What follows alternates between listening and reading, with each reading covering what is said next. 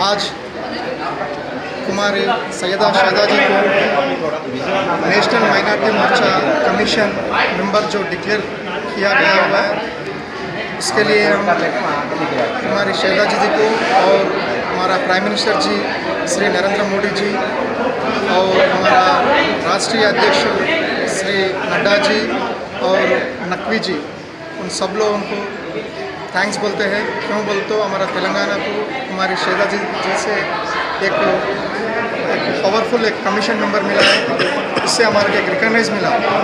क्यों बोलते हो? तेलंगाना जी से कमीशन मेंबर हुए थे। एक एससी मोर्चा और दूसरा बीसी मोर्चा और तीसरा ये हमारी सैयदा शहजादी जी। माइनर सो इसके लिए बहुत नेशनल माइनॉरिटी मोर्चा मेंबर बनना बोलता ना जो इसलिए इसके लिए बहुत मेहनत कर, करे तो ये पोस्ट मिलता।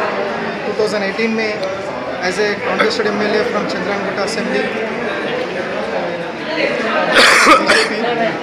और against M I M Akbaruddin Owaisi से टक्कर ले कुमारी शहदा शहजादी आज मोर्चा नेशनल कमीशन मेंबर बन गए। उसको अपन यूज़ कर लेना।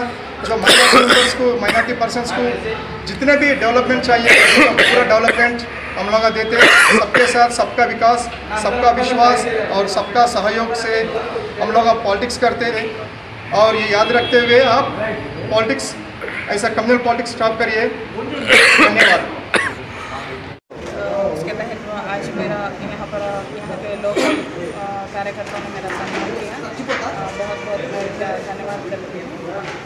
खास करके मुझे यहाँ इस मोदी जी ने और नकवी साहब ने बहुत ही सोच कर मुझे यहाँ काम करने की ज़िम्मेदारी दी है। मैं इसको कॉन्स्टिट्यूशनली जो मैं कर सकती हूँ मैं उसको करूँगी।